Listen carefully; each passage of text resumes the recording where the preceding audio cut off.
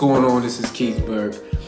Just real quick about Two Degrees. It was an absolute pleasure working with my brother Carl Gilliard. I mean, he directed me a few years ago, and it was just such an amazing experience. I think the brother is so supremely talented and just such a good brother that it was just uh, a wonderful opportunity to work with him. I had fun on the shoot because it, it gave us as actors a chance to kind of play with our, our true emotions about a lot of the things that we experience, you know, working in this industry, which can be like such a roller coaster ride. And just to have fun with it, to make fun of ourselves, to make fun of the situations we go through.